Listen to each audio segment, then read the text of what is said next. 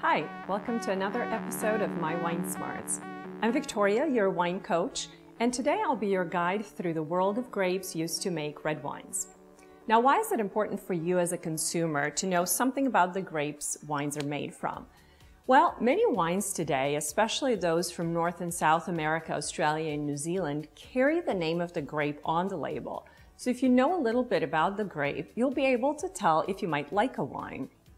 Even if you're choosing wines that don't carry the grape on the label, if you can describe what grapes and wines you like and why, you're more likely to find wines that you enjoy. Welcome to the My Wine Smarts Red Wine Primer. My name is Victoria, and I will be your guide today as we explore some common red wines. Red wine is quite popular, and wine stores and restaurants offer a wide variety of reds from light and fruity ones to ones that are dark, concentrated, and almost chewy in texture. Many red wines are labeled with the grape variety Merlot, Cabernet Sauvignon, Pinot Noir, etc. You might be familiar with these terms, but what do they really mean? What is a Merlot really like? Is it lighter or more full bodied than a Cabernet Sauvignon? And will it go well with that chicken breast you'd like to try? Of course, to enjoy wine, it is not necessary that you be closely familiar with the features of the grapes they are made from. But knowing a little about the profiles of the most common grapes and the wines made from them will help you be a better consumer. It will help you describe what you like and choose wine that you will enjoy. So in this primer, we will go through the most common grapes from which red wines are made.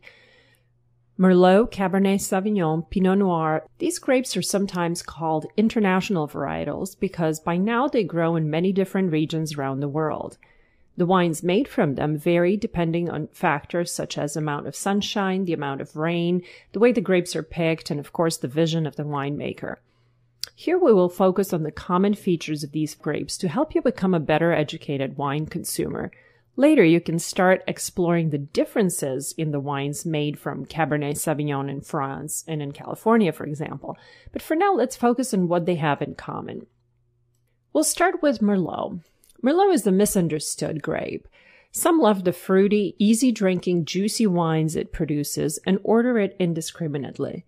Others, who identify with Miles in the movie Sideways, think that it is not even worth considering. But this grape is capable of making some great wines. From the well structured and long lasting wines from the right bank of Bordeaux to the fruitier, rich, and concentrated wines of Washington state. Merlot wines are capable of great stylistic variation, which is why it is important to know a little about the grape and be able to ask the right questions of the people who sell you the wine. Getting to know Merlot will also help you enjoy some excellent wines at prices lower than those for wines of comparable quality made from more famous grapes, such as Cabernet Sauvignon, for example. Never badmouth Merlot because chances are you have enjoyed it whether in the wines of Bordeaux, where it is always blended with Cabernet Sauvignon and Cabernet Franc, or in other wines, including some Chianti. Yes, Merlot is included in some Chianti.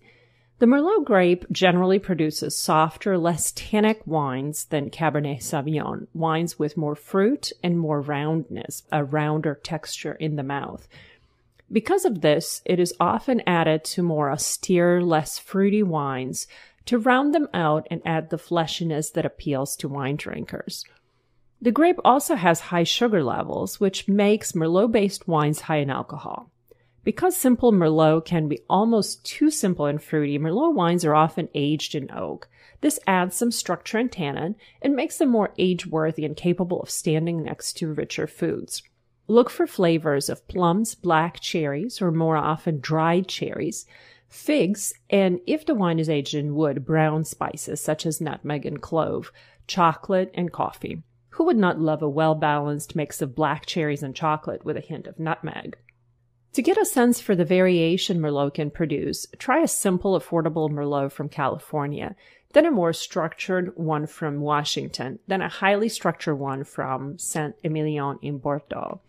You will be surprised by the many faces of this grape that has been unjustly maligned for decades. So next time you're out and you see Merlot on the wine list, consider what it can do and give it a chance to surprise you.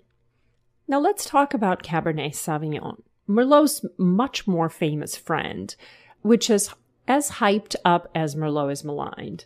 For every person who says that they would never touch Merlot, there's at least one person who always orders cab, as it is fashionably called, regardless of the occasion and the food that might be served. And often that is one and the same person. Many are surprised to learn that Cabernet Sauvignon is often blended with Merlot. This is always the case in the wines of Bordeaux. If you're drinking a Bordeaux from the right bank, you're actually drinking way more Merlot than Cabernet Sauvignon, and sometimes no Cabernet Sauvignon at all. On the left bank of Bordeaux, Cabernet Sauvignon is always blended with Merlot for richness and roundness. So, what is Cabernet Sauvignon and what kind of wines does it make? Wines from Cabernet Sauvignon are usually highly structured, big, and bold. They make a statement, be it with the high amount of tannin or with the strong aromas of oak. Some can be so tannic as to be almost undrinkable when they're young. Others are well balanced and have enough aroma, flavor, and richness to balance the high tannin.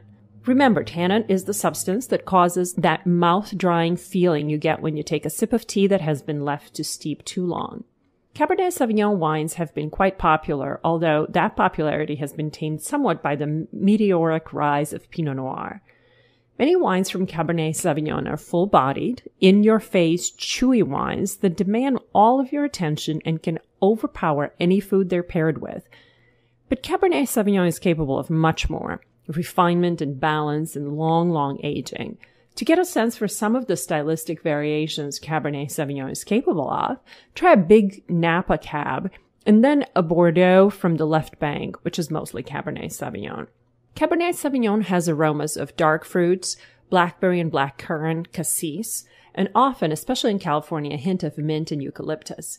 It is often oak aged, and that imparts smoky, toasty aromas of tobacco, cedar, cigar box, and vanilla. Cabernet Sauvignon can be so powerful and big that it's best enjoyed on its own or with a big steak, but some of the more balanced and refined Cabernet Sauvignons pair well with richer dishes, usually meat ones.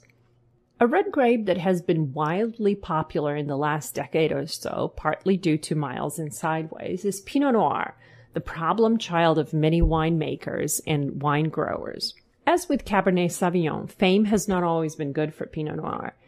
It has led to misunderstanding of what the grape is and what it can do. Those who love Pinot Noir are often attracted to a particular style, the luscious, fruit driven, dark Pinot Noirs of Oregon and California, or the light colored, more earthy, more acidic wines of Burgundy. Either way, once someone becomes attached to Pinot Noir, it is difficult to get them to act rationally.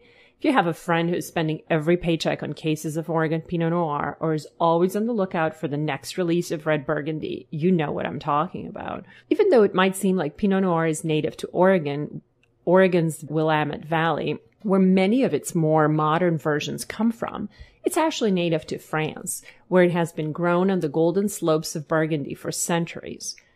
As early as the Middle Ages, the monks made excellent Pinot Noir wines that were highly priced among the church dignitaries and kings. Today, red Burgundy, which is always Pinot Noir, attracts a similarly well-off audience, as most of it is pricey. This, coupled with the fact that most Burgundy producers have minuscule lots and produce very limited quantities, has fueled the Burgundy craze.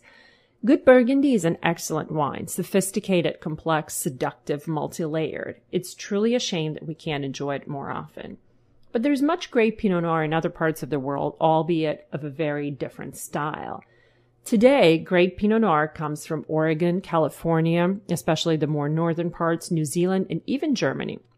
Like Merlot, Pinot Noir is capable of great stylistic variety, so ordering a Pinot Noir is not easy. Pinot Noir from Burgundy tends to be lighter on the palate, less fruity, more earthy, and with higher acidity, one of the main reasons that they pair so well with food.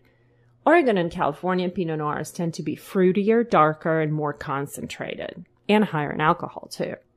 And while red Burgundy usually has aromas of strawberry, raspberry, and cherry, Pinot Noir from warmer climates, including Oregon and California, has aromas of strawberry jam, plum, or Bing cherry. But fruity aroma, aromas are not all there is to Pinot Noir.